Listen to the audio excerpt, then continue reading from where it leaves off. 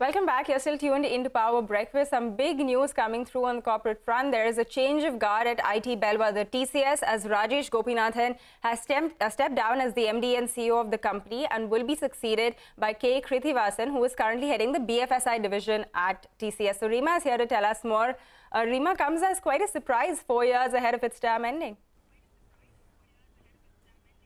Absolutely. This announcement has come out of the blue now. Uh, so first the news, TCS has announced the resignation of MD and CEO Rajesh Gopinathan. Rajesh will be replaced by an insider and a TCS veteran. K. Krithivasan, who's currently heading TCS's BFSI vertical. But in his 34 year journey with TCS, he's held many leadership roles and he's been in charge of a lot of, he's been uh, given a lot of responsibilities. Now, uh, this news, as I said, comes in as a surprise. It's a sudden surprise exit because Rajesh was appointed as, reappointed as the MD and CEO uh, only in March last year for a five year term. So he's stepping down four years ahead of his term coming to an end, which is in February of 2017. That said, the transition is likely to be smooth because Rajesh will be grooming Krithivasan over the next six months. While Rajesh has announced his uh, exit uh, yesterday, uh, his last day will be 15th of September, so he's got a full six months to transition Krithivasan into the role of a CEO and MD. So the transition is likely to be smooth and plus.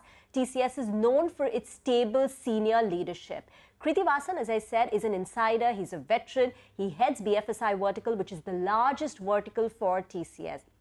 That said, uh, leadership change is never easy, and for particularly this time, it comes at a time when the technology industry is growing through a turmoil, given fears of a growth slowdown, moderating revenue growth for the IT industry.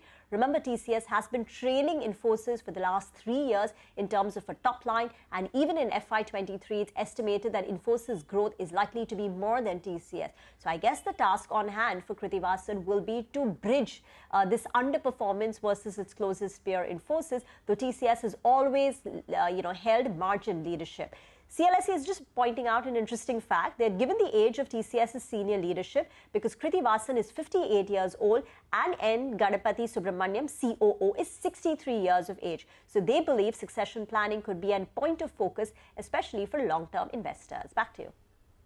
All right, Rima, thanks a lot for getting us all of the details. In fact, you can catch the outgoing MD and CEO Rajesh Gopinathan as well as the successor K. Krithivasan addressing the media over this big leadership change at 8.30 a.m. here on CNBC TV 18. But with that, we do need to get into a short break on the show. On the other side, we're going to shift to the world of commodities and tell you what's going on, so stay tuned.